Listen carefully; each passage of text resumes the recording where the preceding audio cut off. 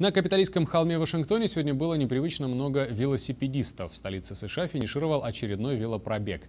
Команда 26 – это группа активистов, которые выступают за ужесточение правил оборота огнестрельного оружия. Участники проехали несколько сотен километров из города Ньютаун, где находится печально знаменитая школа Сэнди Хук, до Вашингтона. И главная цель – добиться от Конгресса принятия новых законов, чтобы защитить Америку от повторения похожих трагедий в будущем. Роман Мамонов встречал участников акции на Капитолии.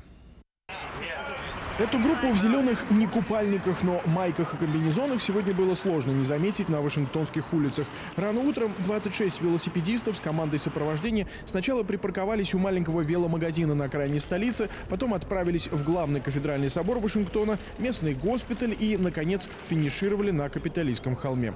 У них за плечами 4 дня по шоссе, 400 преодоленных миль, десятки городов, встреч с простыми жителями, мэрами, законодателями и слоган из трех слов «Надежда, мир и любовь».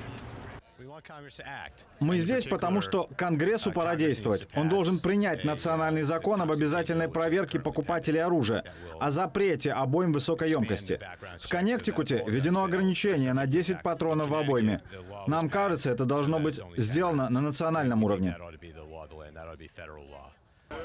Монти Фрэнк – создатель и лидер команды 26. Он начал этот проект после трагедии в его родном городе Ньютаун, штат Коннектикут. 14 декабря 2012 Адам Ланза застрелил 20 малышей и 6 педагогов в начальной школе Сэнди Хук, после чего застрелился сам. И для Фрэнка это цель номер один – заставить Конгресс переступить через оружейное лобби ради спасения тысяч жизней.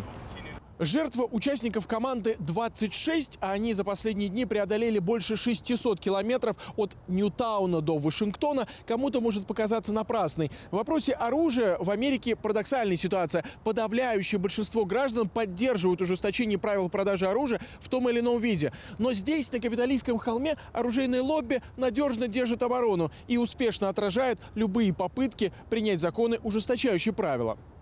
31-летний Амар Самаха сам работал на Капитолии и знает, как устроен Конгресс и как законодатели часто идут на поводу у корпораций. Молодой человек много лет выступает за более жесткие законы в отношении оружия. Его сестра, Рима, погибла 8 лет назад во время самой кровавой бойни в истории США – стрельбы в технологическом университете Вирджинии.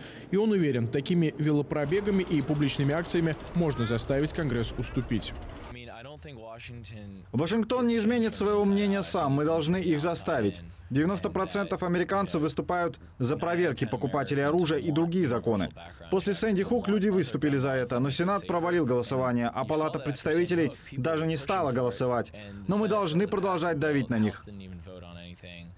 Сейчас в Конгрессе представлен очередной законопроект об универсальной обязательной проверке для покупателей оружия. Документ разработали несколько демократов и республиканцев, правда шансы на его прохождение невелики. Не факт, что его вообще поставят в повестку, но сторонники ограничений на оборот оружия обещают вносить законопроекты снова и снова, а Амар, Монти и их товарищи готовы год за годом крутить педали, чтобы спасти других от шальной пули. Роман Мамонов, Анатолий Кашенко, Вашингтонское бюро RTVI.